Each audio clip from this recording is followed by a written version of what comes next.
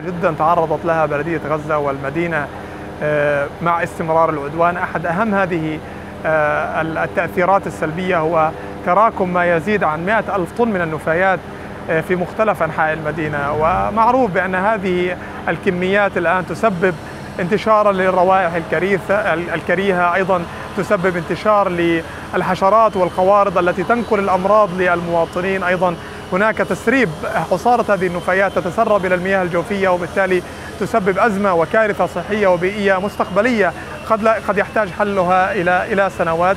أيضا بالتوازي مع بالتوازي مع هذا مع هذه الأزمة والكارثة البلدية غير قادرة عمليا على نقل وترحيل كل هذه الكميات من داخل المدينة بسبب تدمير الآليات الآليات الثقيلة التي نحتاجها وأيضا بسبب عدم قدرة طواقم بلدية غزة من الوصول إلى المكب الرئيس.